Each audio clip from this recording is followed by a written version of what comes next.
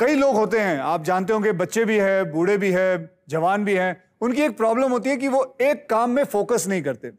एक काम शुरू किया आधे में छोड़ के दूसरे काम पे चले जाते हैं। जी। और उसकी वजह से वो काफ़ी जगहों पे मार खा जाते हैं। सो यही इस फ़िल्म के अंदर मेरी ये प्रॉब्लम है।